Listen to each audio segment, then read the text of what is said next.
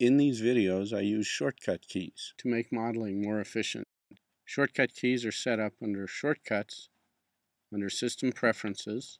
To assign a key, start typing in the menu designation in the filter box, for instance, Hide, select Edit Hide, type in the letter you want. Now this faucet neck not only curves, but it flares outwards. It's changing continuously as it flows along that path. So we can't use just a simple follow me on this. We're going to have to get a little more creative.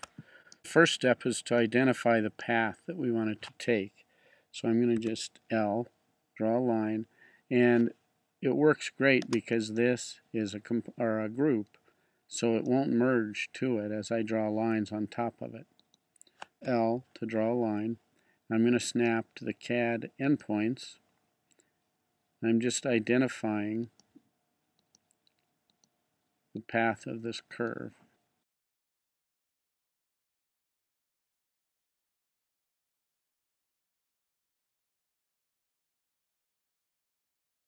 So now I'll triple click on that line and it finds everything interconnected and then M will move it upwards in the blue. And again let's just use 5 5 is an easy number to remember. So there's our path. Now we need a profile to follow that path. Plus we want that path to all be coplanar and they're not right now. So let's fix that. We'll draw a line from there to there. And since it fills in a surface we know those were all coplanar. I think our non-coplanar stuff started down here somewhere. We've now established a plane. I'm going to draw down in the blue simply to enlarge that surface, make it an easier target to touch to. Let's make a quick group of it, G, so that we can get rid of the rest of the model and see it more clearly. Now we're going to move and see there's just individual vertexes here. So I can click on that, move it in the green. If I hold down shift, it'll, come on, hold down shift, it'll stay locked in the green. Then I touch on this surface and it moves it to be exactly on that surface. So I can grab all those little line segments that we'd been drawing and resolve them to all be coplanar.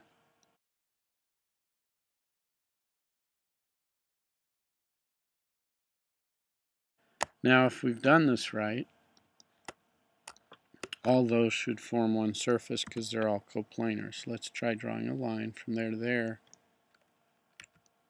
and see, and indeed we've straightened them all out. Now they all lie in the same plane. I'm going to set the background color to make this a little easier to see. To Window, Styles, Edit tab, and we'll set the background color. Just make it a little bit grayer so we can see the white as we keep working.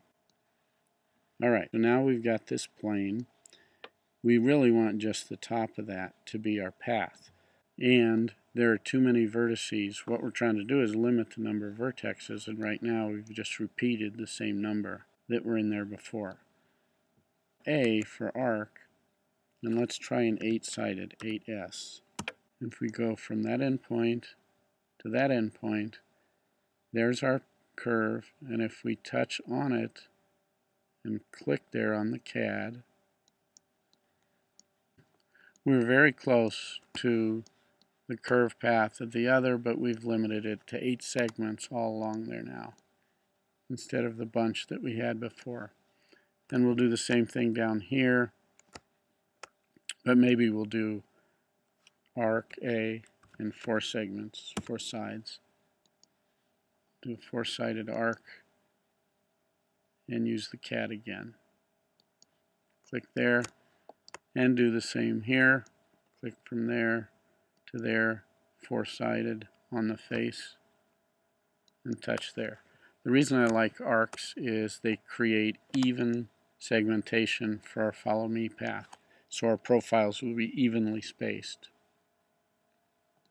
Okay, let's establish the profile we want to cut, or to sweep, excuse me. Let's draw a profile, a plane in space, and then move that plane up onto or the neck of our faucet. So I'm going to find an endpoint there move that down a little.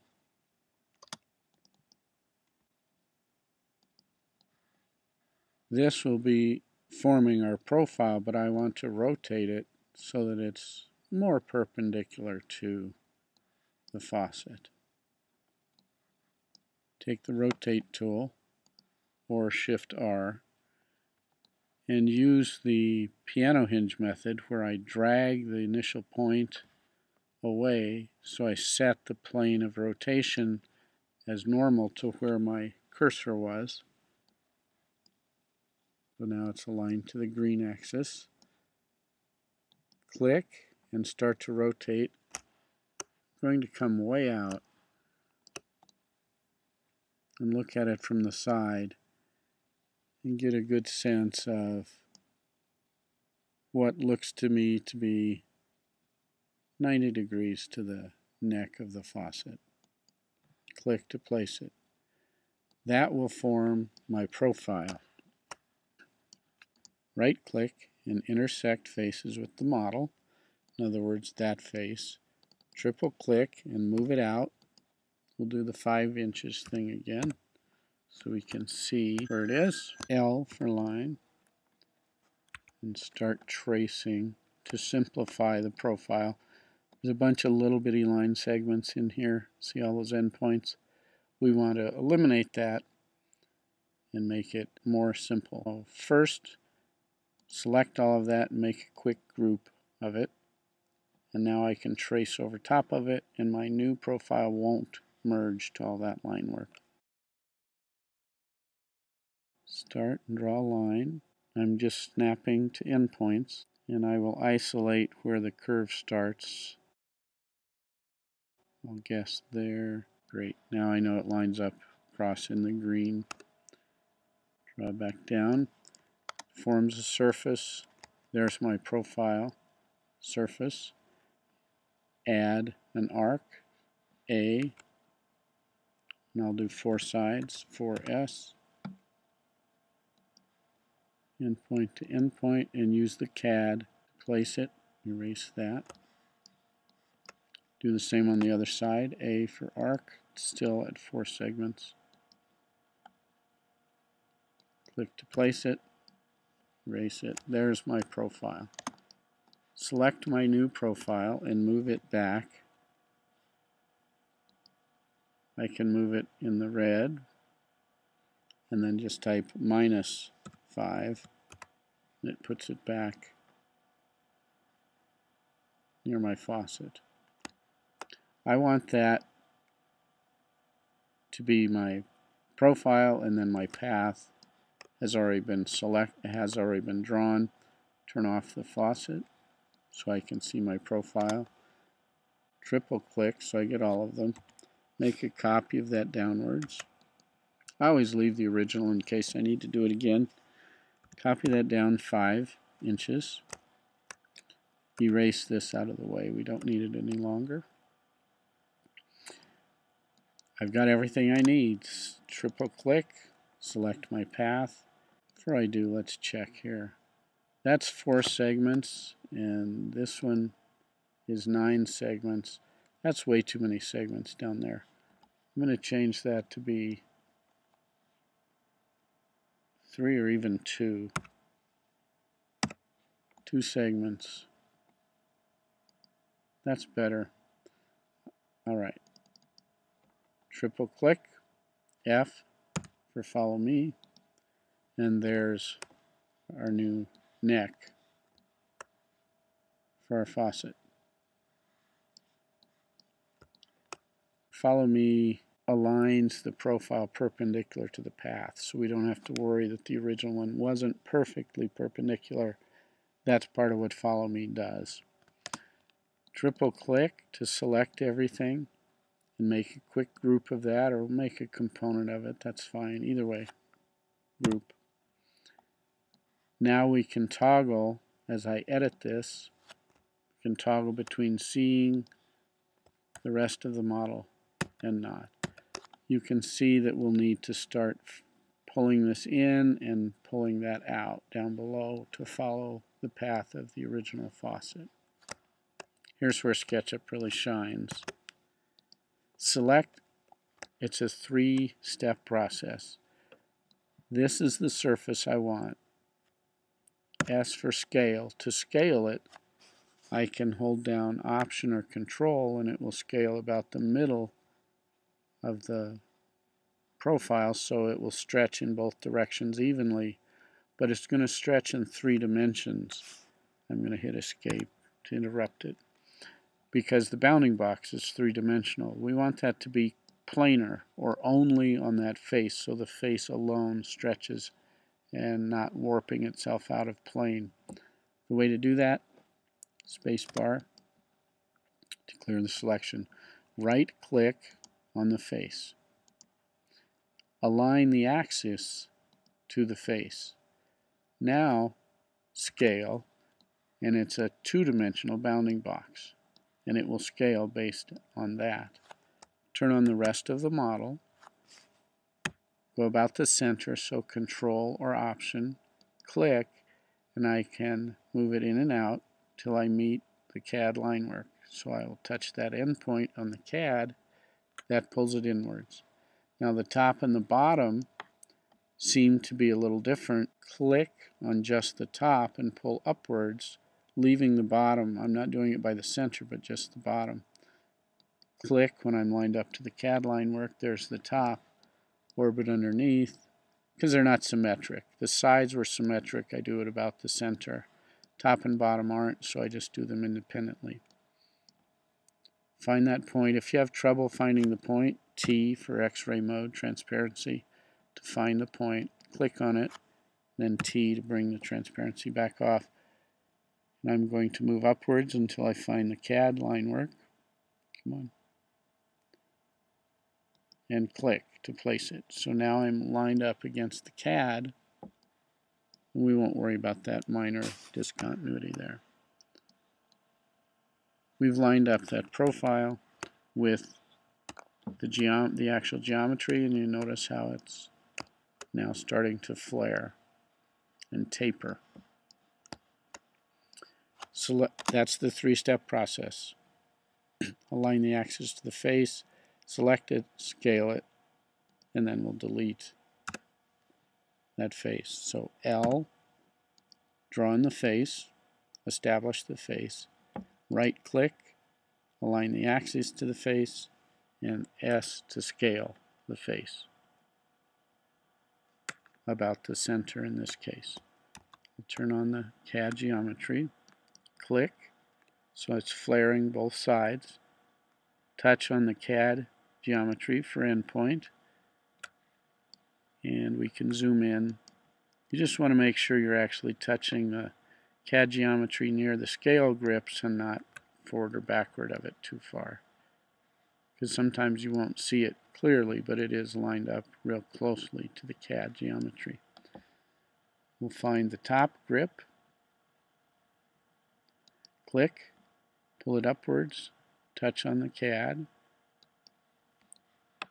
Okay, that's a little high, but not too bad. And the bottom. Touch on the end point of the CAD, and now you can really see how it's starting to adjust to the actual CAD shape. Just keep doing that. Select it and delete it. L to establish our next plane. Right click, align axes, S for scale, show the rest of the model, scale about the midpoint or center, find the CAD geometry near it, find the top edge, there's a midpoint, that's good, orbit from underneath, click, Zoom in and find the CAD near it. Midpoint looks good. And again, we start to see it taking shape. Next, draw a line in, establish the plane, right click, align the axes, S to scale,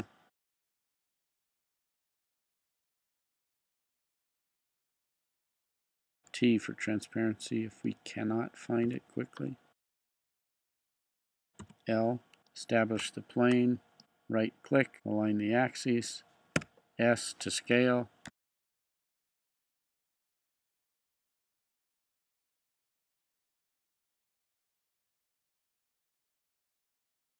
Now we'll really see the effect of what we've been doing. Now we are following the CAD very closely, but with much fewer polygons, much simpler geometry.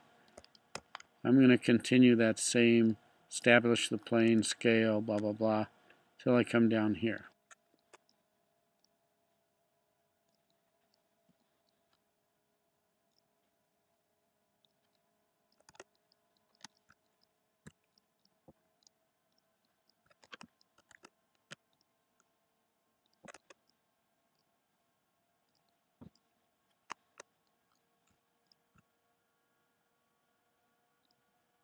Now at this point we've reached the limit of where the CAD goes. We have a couple more planes to work so they'll extend below and then we'll clean that up. Before I go much further I'm going to isolate where this overlap is so it doesn't mess up my geometry. Turn off perspective, line things up and select crossing window. Through all that stuff make a quick group of that so it will not affect my scaling of the other objects. Looks to me like I could take this one, that one,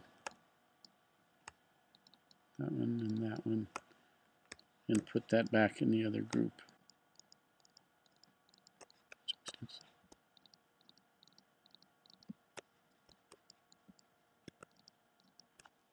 I'm going to make a group of that,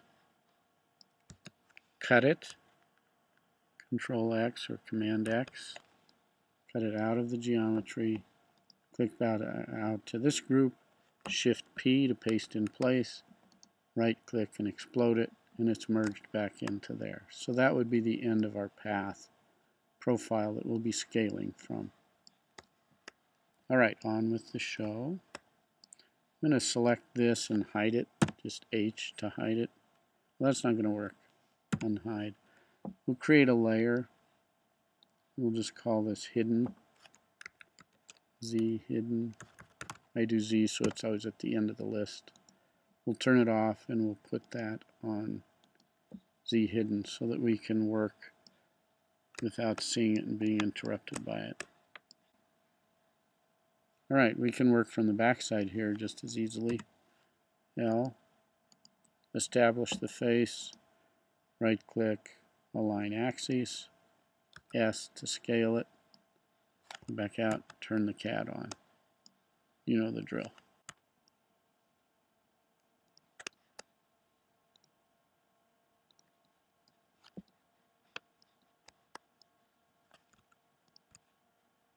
Now here it's hard to see how it's working, so I'll turn off the rest of the model and just go to the side. And all I'm doing is watching up in here to make sure this line, uh, let me show you, to make sure this line flows in line with that line. Select it, scale it, click it, so see how it's moving down. And here's what I was talking about. We're going to go below the platform of the faucet. Not to worry, we'll trim that out.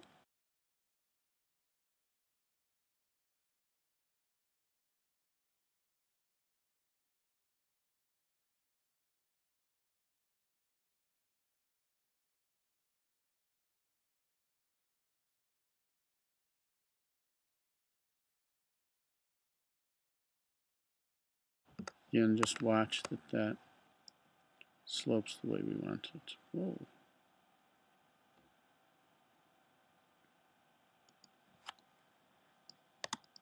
Delete it. Last face.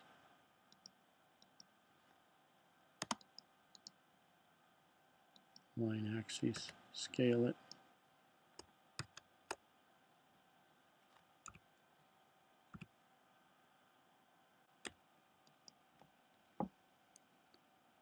I'm just looking against the CAD so that there's where we'll be merging into the rest of the geometry.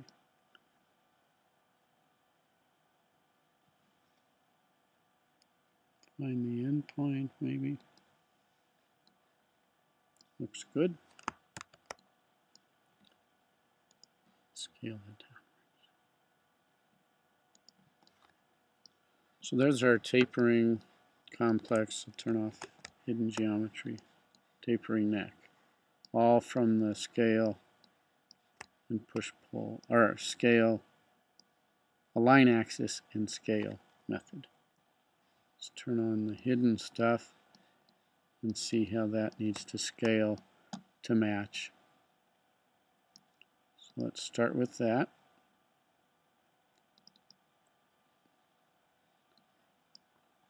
Select the two halves.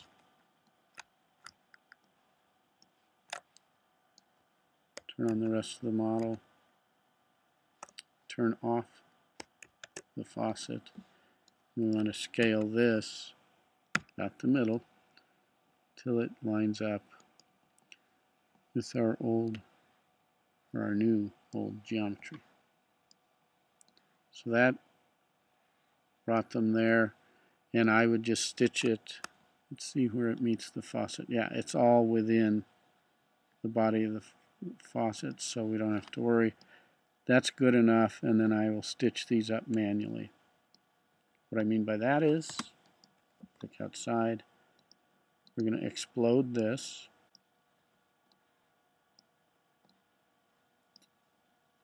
And then use the move tool. Clear any selection and move just vertexes up to match vertexes. So move this endpoint starting with and autofold and click to place it. Again, turning on transparency quickly seems to find autofolds, sorry, endpoints better. Click, turn on autofold, click to the point. Spin around, click, autofold, find the endpoint. Click, autofold, find the endpoint. Click, autofold, won't find the endpoint. T for transparency, find the endpoint. Click, autofold. Let's combine these. T to find the endpoint. Click, autofold, find the endpoint. All of that's oops, within the faucet. Oops, didn't even need to worry about it so far, just around the corner. So we're not even going to worry about that other stuff as it goes below. Actually, that's not entirely true. Let's move this one. Click, autofold, T for transparency, find the endpoint. Click, autofold, T for transparency, find the endpoint. That's looking good.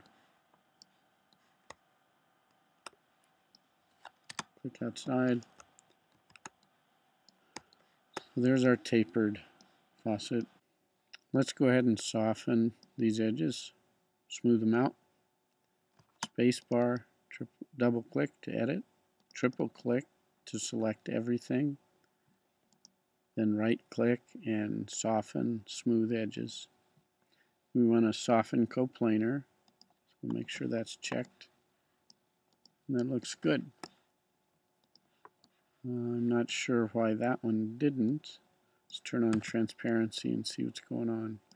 Oh, there's a couple lines inside there. Let's select those and delete them and see if we can soften that, smooth it. Yeah, there's a little floating triangle in there, up in there. All right, so that looks good. Got a nice smooth faucet neck. It's looking good. Now we'll model the faucet head where the water comes out.